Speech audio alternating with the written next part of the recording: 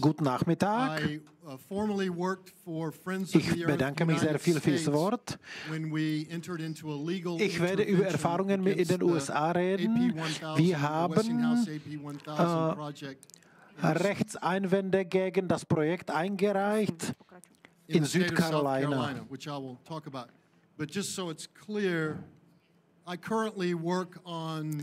Es ist klar, Uh, ich beschäftige mich momentan mit äh, Nuklearwaffen uh, und ich lebe in Südcarolina und ich beobachte, was da alles uh, passiert. und ich möchte Plant Vogel in Georgia Ich möchte nur sagen, hier 1000 square kilometer haben wir dieses- diese Anlage, die über einen Fluss hin, Savannah River hinaussteht. One Und da auf der einen Seite ist In eine Brücke und dann haben wir hier die nuklearen Waffen. Und in. Georgia haben wir hier weitere Not by mistake. It was because In there's nobody on the other Südgeorgia side to protest the nuclear reactors. Atomkraftwerke. Aber auf der anderen Seite des Flusses haben wir jemanden, der Nuklearreaktoren kauft. Wichtig ist es zu sehen, South dass Carolina, dieses Projekt in Südcarolina Westinghouse AP1000 zwei Einheiten hat. Project Summer AP was 1000 licensed by und dieses Projekt hat völlig versagt. regulator in 2009. Es wurde lizenziert im Jahre license 2009 of- durch die föderale Regierung Regulatory Commission in 2012. und Und die endless schedule delays, Regulatore Kommission für nukleare Fragen hat das 2017 betrachtet. after $9 Und- billion dollars was wasted on construction. Das Projekt endete im Jahre on to that about $2 2017 billion dollars on interest cost. So it was und die $9 billion dollars was Konstruktionskosten waren wesentlich höher. Also es gab da sehr hohe Zinskosten. Also was licensed by the state regulator in 2009 auch das Problem. Mit AP 1000 war unterstützt.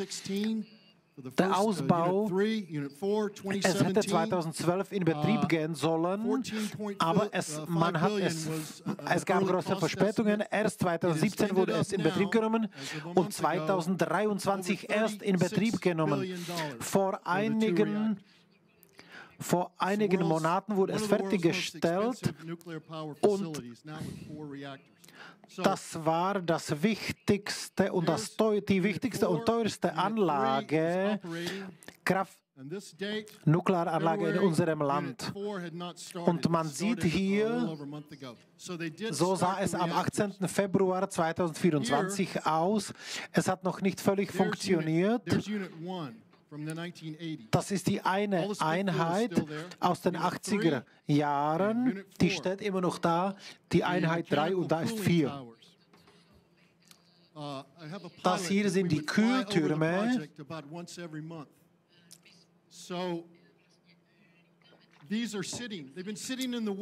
Wir beobachten alles auch aus Vogelperspektive. Das hier ist im Prinzip seit mehreren Jahren verlassen, dieses neue Projekt. Und hier haben wir diese Komponente, die wurden in die Ukraine geschickt. Und hier ist die Deponie für Atomabfall. Die Frage ist, was machen Sie damit und was wird wohin transportiert? Also, das amerikanische energetische Minister Energetikministerium hat im Jahre 2023 gesagt, was eigentlich passiert. Wir beobachten es seit 2009. Also ich möchte nur sagen, die hatten keinen Projektzeitplan gehabt. Es fehlte an erfahrenen Fachleuten. 5000 Menschen hätte da arbeiten sollen. Und es war wie in einem Land, Die Area ist so groß wie Bulgarien oder Tschechien und trotzdem haben wir diese Arbeitskräfte nicht gefunden. In fünf Ländern haben wir gesucht. Ich verstehe das gar nicht.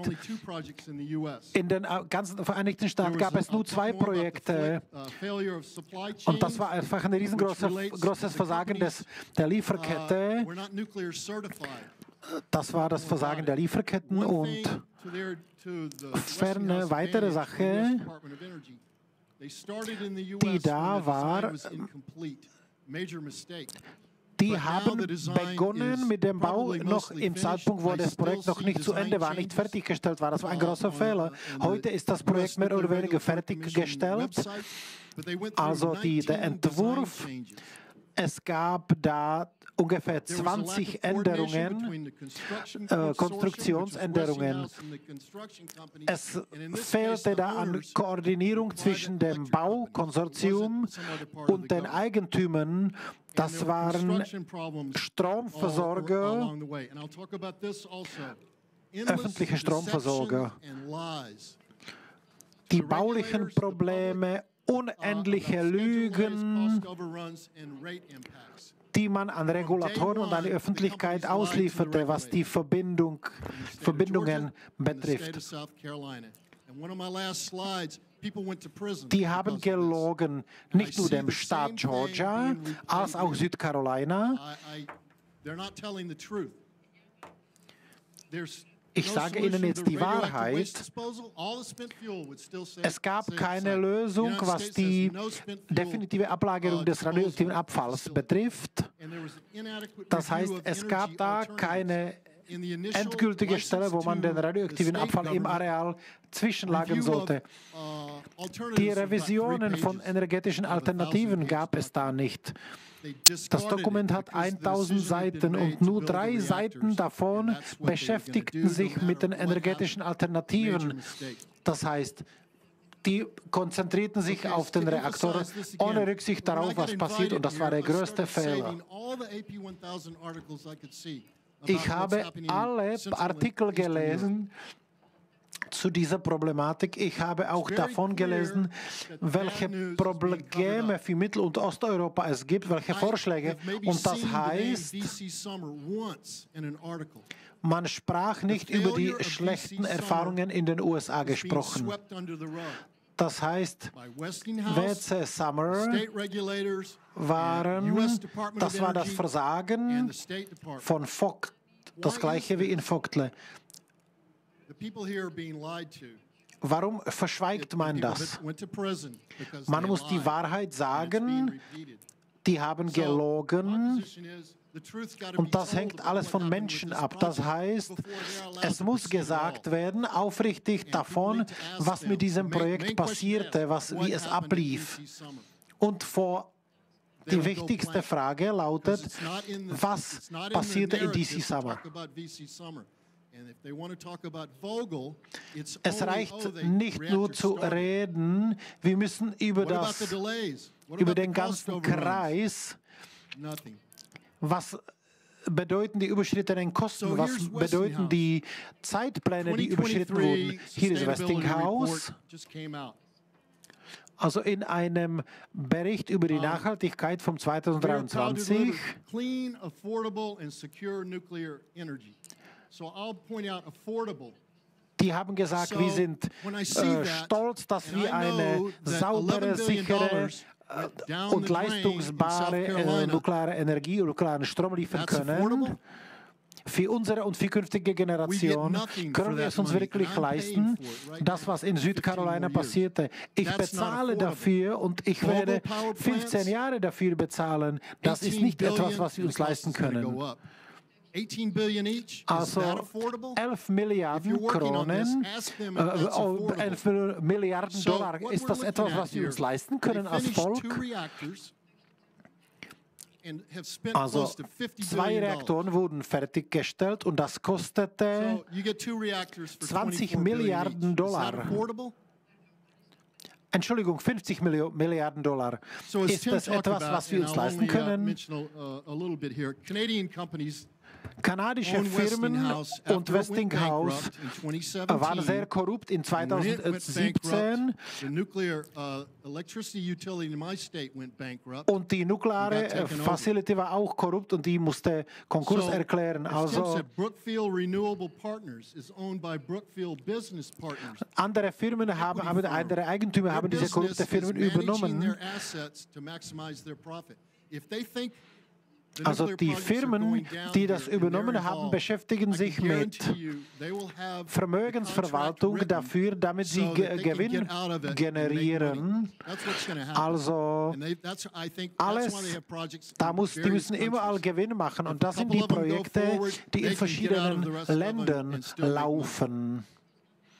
Das heißt, diese Firmen sind imstande, das, später zu, das Projekt später zu verlassen und trotzdem immer noch Geld zu verdienen. Das alles hängt zusammen damit, wie die Vorschriften in den Vereinigten Staaten sind, aber das ist quasi nicht mehr keine amerikanische Firma mehr. Da schauen wir es uns an, wie es ausschaut. Fort Unit 3, 4, Georgia Power, WC, Power Unit 2 und 3, Summer Units, öffentliche Netzwerke, Kraftwerke, Dienstleistung, öffentliche Dienstleistung.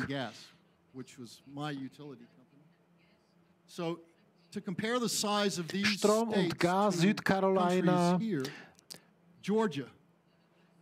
ist der 60-prozentige Eigentümer. Da sieht man, wie viele Kilometer, Quadratkilometer da sind, wie viele Millionen Einwohner. Da leben. 11 Millionen Einwohner in Südcarolina, 83.000 Quadratkilometer, 5,4 Millionen Einwohner, sieben Reaktoren, gestartet 1970 und 1980. Georgia hat genügend Kunden, also diese Stellen kenne ich sehr gut und ich monitoriere beide Projekte. Hier ist ein Atomkraftwerk. und wenn wir uns das kommerzielle Betreiben ansehen, ich lade Sie ein, um sich das anzusehen. Auch lade ich alle Regierungsvertreter, Mitglieder an, um sich das anzusehen. Und ich zeige Ihnen, was, hier, was sich hier abspielte. Vogtel hat ein Darlehen mit einer uh, Garantie von 12 Milliarden Dollar bekommen von DOE und die Steuerzahler haben aber das Risiko dieses Darlehens selbst getragen. Das Projekt zeigt noch ein weiteres Risiko. Es scheint, dass das föderales Geld ist vom Staat. Das heißt, es besteht da zwei Arten von Risiken. Das sind die letzten zwei großen Reaktoren, die in den Vereinigten Staaten gebaut worden sind. Warum besteht Zweifel über diese zwei Reaktoren? Diese Reaktoren hätten sonst ihren Lebenszyklus bereits hinter sich. Das erste Projekt hat wirklich versagt. Hier ist ein Bild. In the nuclear build back in the 70s to 90s, da sieht man die Kapazitäten der Atomkraftwerke, die seit 1970 gebaut worden sind. Das hat USS Government, amerikanische Agentur für Atomenergie, unterstützt. Vergleichen Sie es bitte mit dem Jahre 2010. Sie sehen, diese Balken werden immer kleiner. Uh,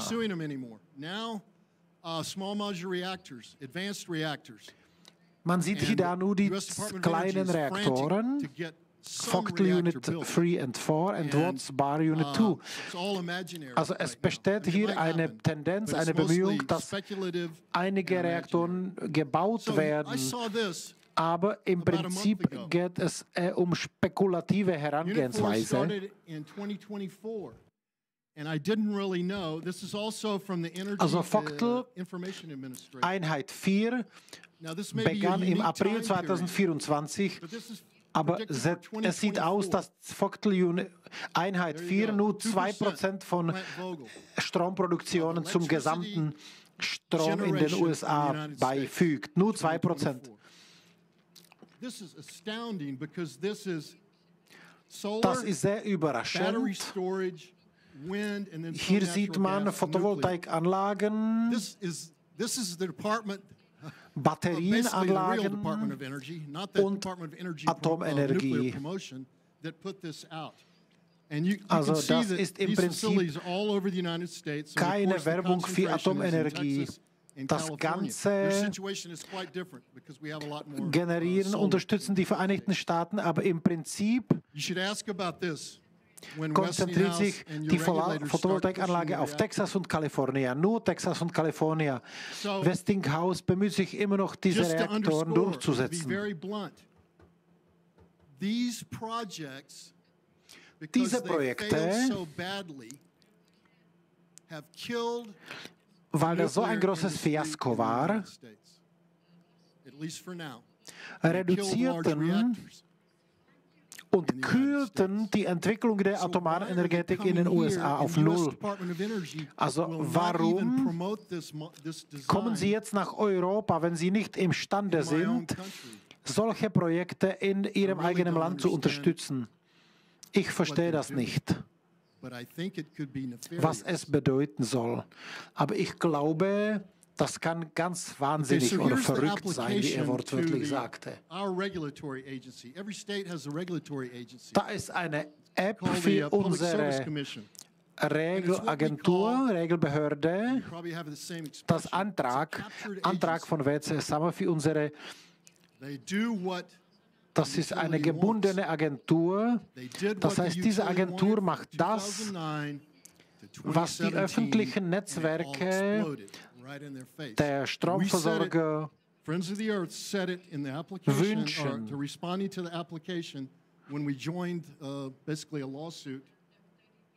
Und hier sieht man, wie ist die Antwort auf unseren Antrag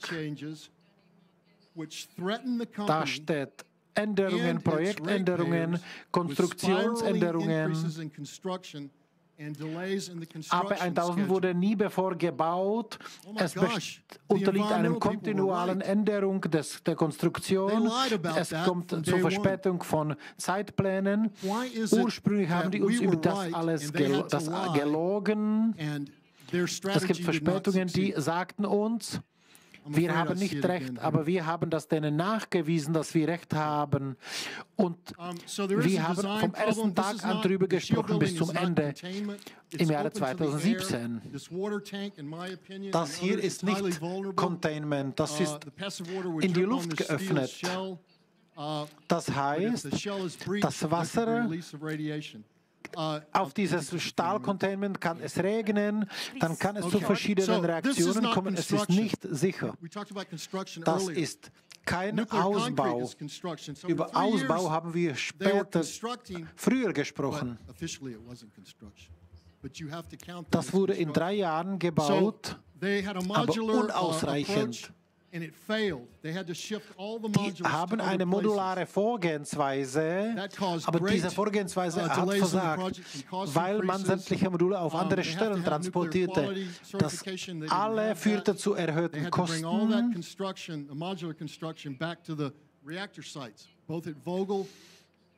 Alle diese Konstruktionselemente musste man. dort übertragen, wo Reaktor uh, schon stand. Es gab da riesengroße Verspätungen. Also wenn ich zurückgehe zu dem Bericht, warum dieses Projekt versagt hat, hängt es damit zusammen, dass sie die Probleme nicht verstanden haben.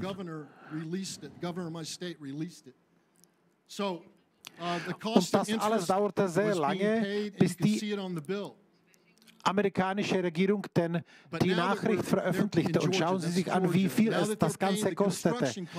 Wir sind jetzt in Georgia. Und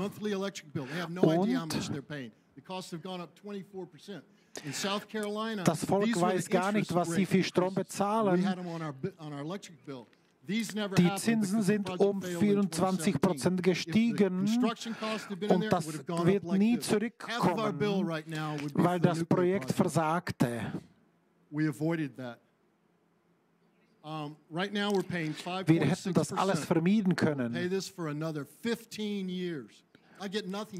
Die nächsten 15 Jahre werden wir diese Zinsen bezahlen, wie als Kunden.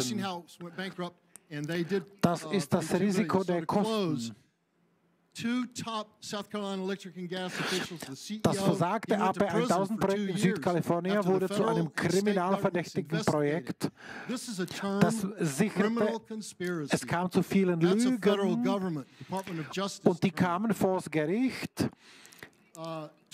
Arno, es kam zu Kriminalkonspiration, deshalb war das Projekt zum Scheitern verursacht. Sie bekamen gewisse Urteile. Der Vicepräsident, der den Bau beaufsichtigt, kam ins föderale Gefängnis und einer der Beamten hat Hausarrest bekommen. No mention of VC Summer. Vogel started, no mention of the cost. Also das System kommt, aber man redet nicht über das Projekt WCL Summer und über das Ende von WCL Summer. Ich nähere mich dem Ende meiner Rede. Passen Sie bitte auf. Niemand spricht über dieses Projekt, das versagte. Jemand, der etwas anbietet, spricht nicht über dieses Projekt.